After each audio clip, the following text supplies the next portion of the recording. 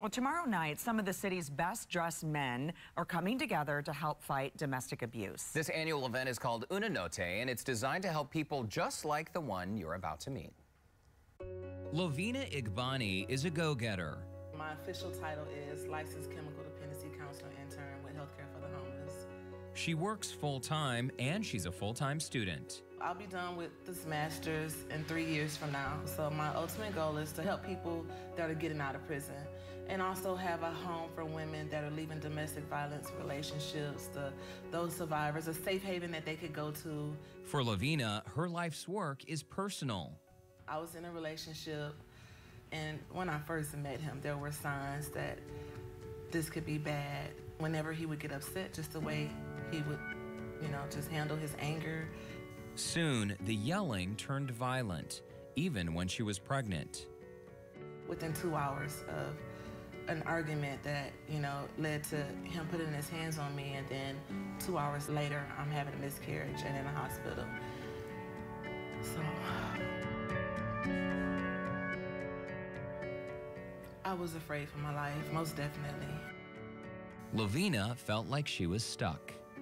The breaking moment for me was my daughter saying, if you're gonna be with him, I don't wanna come stay with you. And I was like, why? And she said, whenever y'all would,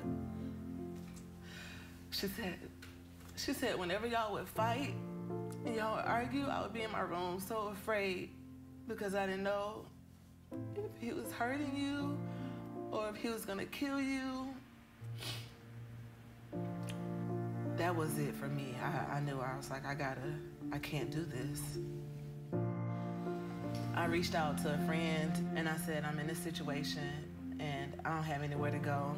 And it was like three o'clock in the morning. And she said, uh, call this place, they may be able to help you. That place was the Houston Area Women's Center. They came, they sent a cab to come pick me up. They gave me a place to stay. I stayed there for quite some time, almost six months. With a safe place to stay, clothing, and food, Lavina could start focusing on her future. I had all the support that I could possibly need to, to make it and to get my life going on the right path again. From financial classes to employment resources, the Houston Area Women's Center helped Lavina create the life she wanted. I had counselors that I could confide in one-on-one. They had group counseling available. I felt safe. That was the most important thing. I felt safe. Now, as Lovina is working and in school full time, she can add one more title to her list of accomplishments homeowner. That was like a, a huge dream come true. It was always like a one day dream, like this will be nice one day to own my own home, but I wouldn't have bet anyone any kind of money that uh, this would be the way my life today would be where it, where it is. I never saw any of this in a million years. Because you didn't see a way out. Didn't see a way out. But now she has a whole new outlook on life. I'm not gonna settle. You know, I spent so many years of my life settling when it comes to a relationship. I refuse to settle. Never again will I settle. And for those who might find themselves in an abusive relationship, Lavina has some advice. The first time it happens, it's time to end that relationship. You know, don't be a fool for love. Uh, don't be a fool for love. And Lovina says one of her only regrets is that she didn't leave that abusive relationship even sooner. Well, the Houston Area Women's Center is the organization that helped Lovina. Each year, they help thousands of women and children get out of abusive situations. And joining us now with more on how we can all help fight domestic abuse is Chow Win from the Houston Area Women's Center. So we're going to talk about this big fashion event that's happening tomorrow night. But first, Chow, paint us a picture just how prevalent is domestic violence here in Houston? It's pervasive. Three out of four Texans is either affected by domestic violence or has been affected themselves. So it happens everywhere. It's a community problem. And as we heard in Lovina's story, too, um, that you guys offer 24-7 uh, assistance. So if somebody calls, needs help, needs information, you guys are there to help. But talk to me about the numbers and how frequently your phone is now ringing as opposed to maybe a couple years ago. You know, we have a high volume of calls to our hotlines each year, up to 45,000 on a typical year. What we know right now in the Houston area is that intimate partner violence crimes are up.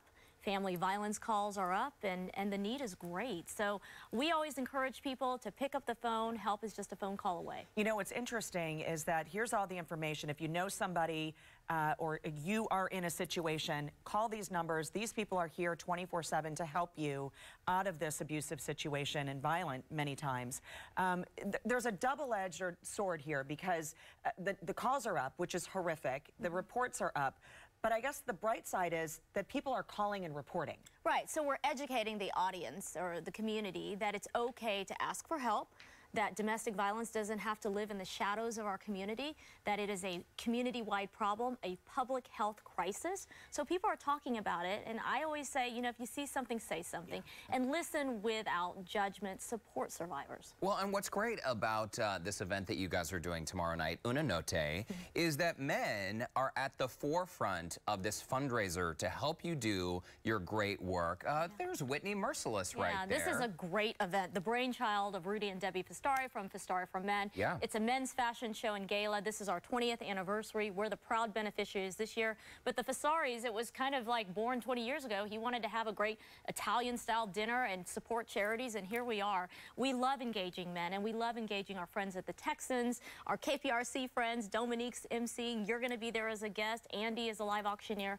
So we have to do this work based on fundraising. We can't do this work without uh, support like this. And the bottom line is bringing it out of the shadows, I think, is critical because there are so many barriers. I mean, we've had, you and I have talked, Chow, about our stories. We've had family ourselves affected by this issue.